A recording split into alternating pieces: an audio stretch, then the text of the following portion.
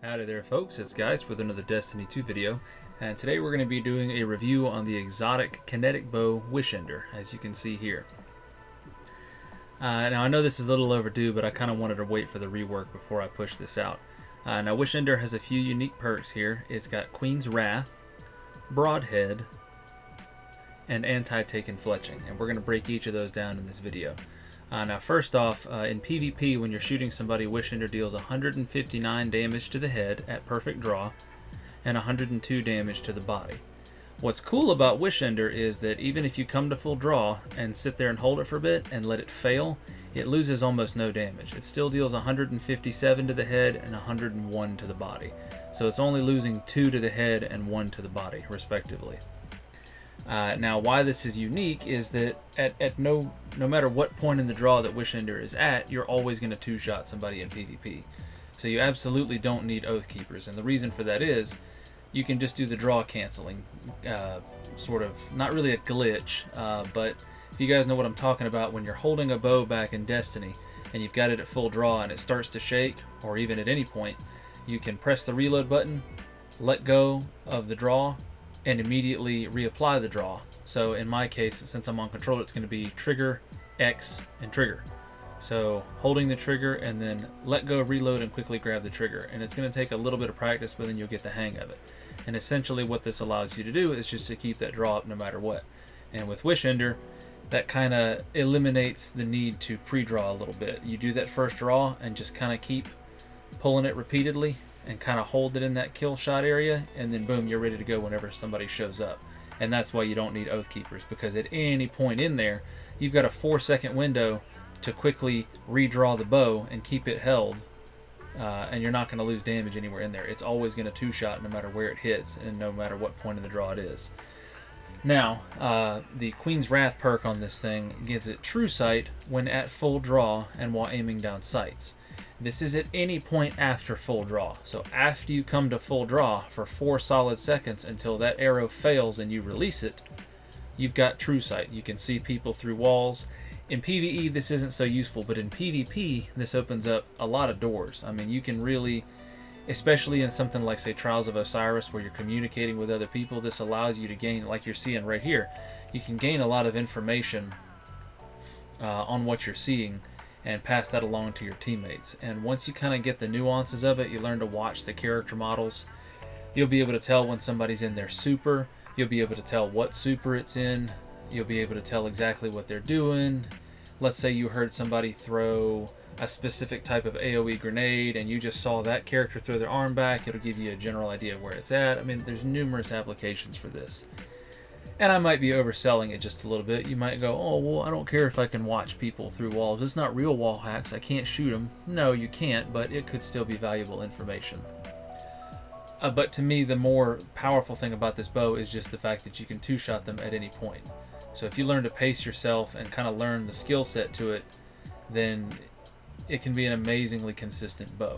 Even if a lot of people aren't going to consider it super powerful because it doesn't have an extremely high TTK. Well, TTK doesn't matter so much with Wishender because you should be peek shotting. As long as you're utilizing your cover and utilizing your peek mechanics, then your TTK doesn't matter. You, you choose your TTK at that point. Now there's two playstyles in Crucible that people typically go with. They'll either do uh, blinting or bow swapping, or they'll run it primarily. With Wishender, you're going to see most people swapping, as I'm doing right here. Now I was kind of just doing this, just messing around in a Rumble lobby here, but the general idea is what you're going to want to run if you're going to bow swap with this thing is you've got to run a 120 hand cannon. It's just going to be the most effective thing. You need to land a hit with Wishender, follow up with a headshot or a body shot from your 120 hand cannon. If you miss the headshot with Wishender, it's going to be two shots with the hand cannon no matter what, which is not bad because it's still about roughly a one second time to kill uh, depending on if your handling is high. And that's another thing. Whatever 120 hand cannon you're using, you want to make sure it's got as high handling as possible. You also want to be wearing the bow dexterity gauntlet mod and the hand cannon dexterity gauntlet mod. Um, just to maximize the swap effectiveness of it. And I do recommend putting quick access sling on your hand cannon as well because that will stack with all of this. So between those two mods quick access sling, and if you can get high handling, it should be a near instant swap, and it'll be quick and easy cleanups, like you see me doing here. Now I've got quick draw on my Igneous here, but I don't have snapshot, I just have pretty high handling, so that allows me to do some relatively easy cleanups with it. If you're running Wish Ender as your only primary, or you're running it primarily, uh, I can give you a few options to pair it with. Uh, my four picks are going to be slug shotguns, sidearms, SMGs, and my personal favorite right now, glaives. All of these are fantastic options. Uh, the slug shotgun is you can swap to it and quickly one tap people in close range if that's what you want to do. You want to rely more on special sometimes here and there. That's going to have your one of your best pairings with it simply because if you're not going for the one taps to the head with the slug, let's say you body shot somebody with Wish Ender and you have a high enough handling slug, swap to it, boom, easy body cleanup. Uh, SMGs and sidearms are kind of self-explanatory. Uh, depending on the archetype that you're using, you can get a pretty fast TTK just with those, and they're both very good in close quarters, uh, especially on a cleanup after you've just hit them with Wish Ender. Uh, and then finally, glaives. Glaives are just fun, and they're actually pretty effective too. Um, there's several craftable ones in the second slot. I recommend putting the highest handling on them that you can. You can hit them anywhere with Wish Ender. It can just be a body shot, um, and then quickly pull out the glaive, and then boom, just hip fire the glaive at them, and it's a quick and easy cleanup. And also now you've got a little bit of shield on the glaive, so you can kind of fight people with the shield. Which, if you didn't know, right now the shields on the glaive are pretty sweet in PvP. Uh, it allows you to really uh, duel and kind of outlast some of the other specials and at least tank some of their hits while you quickly take them out. And glaives in general are just kind of fun. In fact, if you want to have a really fun little sort of medieval build, you can run Wishender, a glaive, and any Eager Edge sword in your heavy slot. Um, which, if you didn't already know, Eager Edge swords are pretty effective in PvP, especially if you jump up in the air and lunge down on people. It's a lot of fun. People might hate you, but it's fun to use. And that pretty much wraps it up as far as Wishender goes in PvP. Um, definitely learn how to do the draw cancel animation and um, you got you just kind of got to learn to pace yourself Wish Ender is not nearly as forgiving as a lot of other bows and despite the fact that it is technically a precision bow it does still share uh, there's this little aspect that lightweight bows also have where they just kind of whiff sometimes and it doesn't have to do with the accuracy because Wishender has 80 accuracy but something to do with Wishender and those bows. I think they just have a slight projectile speed, even though Bungie says and other people will tell you that it's max projectile speed. They're basically hit scan at full draw. Well, that may be true, but still, there's just there's this whiffiness here and there that kind of happens with the two of those, and it doesn't really seem to happen with precision bows. And even if you bring it to full draw and then let it fail, that doesn't really change. Precision bows still hit just fine doing this tactic, whereas Wishender and the others don't. Um, but either way, I think it's a great bow in PvP, and you guys should definitely give it a shot. Now in PvE, oh my goodness. Wishender is an absolutely amazing weapon. Uh, ever since the recent rework, uh, Bungie has just drastically increased the effectiveness of this weapon. The other two perks on Wishender are the anti-taken fletching and broadhead. Now, you know what Queen's Wrath does, it lets you see through walls, and it's mostly good for PvP. Queen's, uh, not Queen's Wrath, anti-taken fletching makes the bow significantly more accurate. I guess that's why it has 80 accuracy. Uh, and it deals bonus damage to taken, so it says. I haven't really got a good way to test this, as uh, as far as I can see, the differences between the regular enemies and their taken counterparts, uh, they have some sort of armor differences, so it's kind of hard to tell if it's actually dealing more damage. But we're just going to believe what it says. Um, either way, doesn't matter if it does. It could it could be lying and, and not deal more damage, or or make it seem that we're whatever. It doesn't actually say it deals more damage, but a lot of sources say that it does. It doesn't matter. The bow itself deals absolutely absurdly high damage now. Uh, Broadhead used to deal damage on the entrance and exit of the arrow, so it would deal two instances of damage to every target. Now it deals three instances of, large, of damage on larger targets. Some smaller targets may only take two, and occasionally you'll only see one damage number. This is due in part to where you're aiming. So whenever you're aiming at enemies with Wish Ender, you want to always either be aiming for the crit spot or aim for the thickest part of them. So for most humanoid enemies like the Fallen, aim for the chest area. servitors, brigs, things like that, bigger enemies just shoot right straight through the middle of them, and it's going to deal three instances of damage.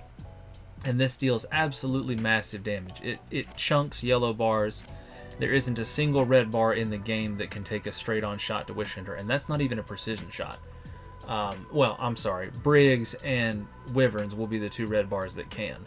Uh, that being said, when you're appropriately leveled, this thing will 3-tap a Wyvern to the body, which is absolutely nuts for a primary. It deals the most burst damage of any primary in the game, as far as I'm aware. Uh, Le Monarque is a close second, um, but even then it actually still falls short and doesn't deal as much damage, even with the full ticks of poison. So the fact that Wishender just does it in one fell swoop is neat.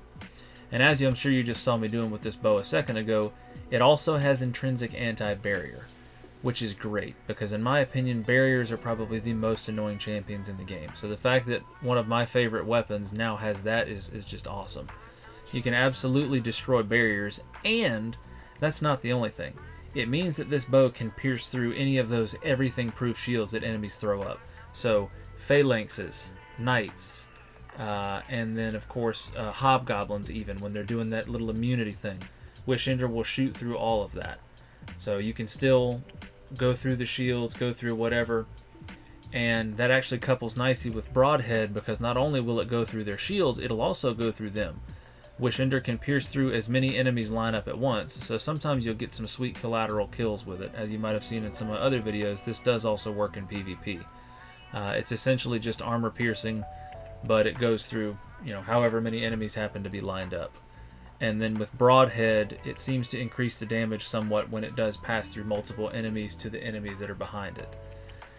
Um, and and it's just it's a lot of fun. It's absolutely the king of primaries to me now as far as PVE content goes. In anything with barriers, any sort of grandmasters, whatever, I'm bringing this. It's essentially just like a primary Arbalest. I mean, there's no reason to use Arbalest anymore with this thing. Uh, the other thing is with match game, just with Wishender's sheer damage that it has now, um, it's typically able to pop most shields in three hits. And, you know, that's a little slow just because Wishender is a slower bow. But I can't think of any other primary that can pop shields in match game with three shots unless they're using something like um, adaptive munitions or, you know, well, obviously if you're using the right element, it just pops it immediately, but that's not the point. And as you can see here, when I'm fighting this boss, um, I just I just went into a a, um, a nightfall here uh, solo just to show you how easy it was to just use. And I'm using two bows too. Uh, one was for the overloads and the other for the barriers. And I'm just damaging the boss pretty much just with Wish Ender. Every time I hit him, I'm just hitting him for little chunks. You can see his health jumping, and it's just a ton of fun to use. So um, I don't know about you guys, but I, have been having a blast with this thing. If you don't want to use it in PvP, that's perfectly fine, and I would understand why. It is a bow. Not everybody likes bows in PvP, but in PvE, this thing is an absolute powerhouse. Um, it does super high damage to everything. It one-shots a ton of things, can even one-shot some yellow bars, and you can do crazy respectable damage. If you run out of special ammo and heavy ammo and you've got just Wish Ender left, you're going to be fine. You're still going to be able to do respectable damage. And with that, y'all, that's all I got to say about Wishender. Uh, I think it's a pretty wonderful weapon, and I've enjoyed using it. Uh, it's been a whole lot of fun. If you guys have any other questions about this thing, feel free to post it in the comments below, and I'll be happy to answer them. Anything I might have missed, or just something you want to know about it. Um, but as always, folks, thanks for watching, and I hope you have a wonderful evening.